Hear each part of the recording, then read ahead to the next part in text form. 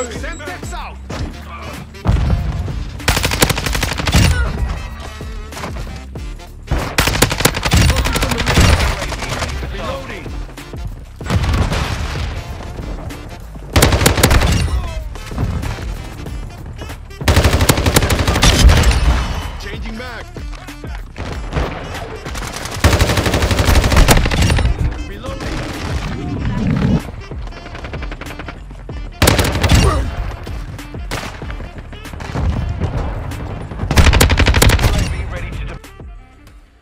So this is the class I'm using for this Lachmann. I tuned a lot, but not everything actually.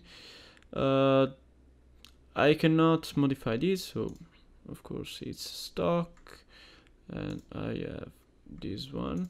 I tried different things. I think this is maybe the best. I don't know. It's also quite personal, so I don't know and yeah it's a very very very very strong weapon. It's very steady not so much recoil so it's actually very good. Also for the long shot i think also with this build uh, it has a bit more range as usual. It's it's a very good weapon in my opinion. So cheers